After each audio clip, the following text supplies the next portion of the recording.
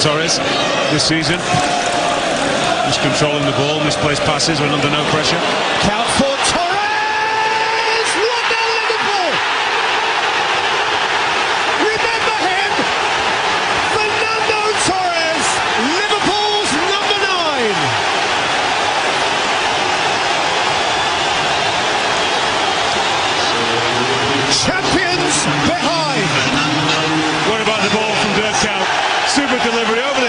Terry.